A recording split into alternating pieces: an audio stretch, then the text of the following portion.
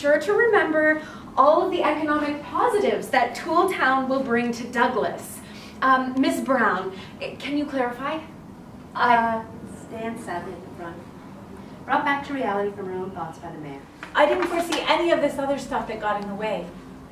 You're just climbing that big corporate ladder, right? What's a little carnage along the way, as long as you make a buck? You've got me wrong, Jack. You couldn't be further from the truth.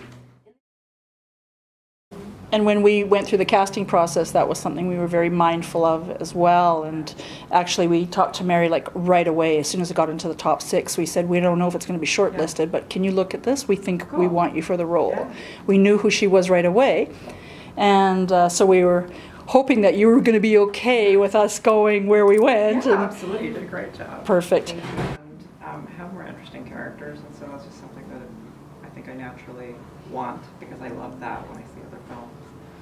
So I think probably I just do that. I don't know if I'm actually mindful about doing that or it's just what comes out when I write, but I'm glad you felt that way.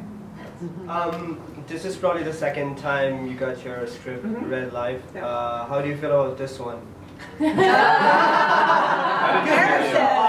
No pressure.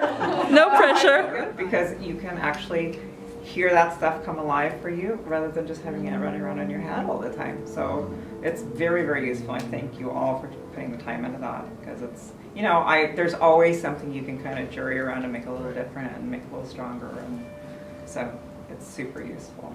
I do appreciate that.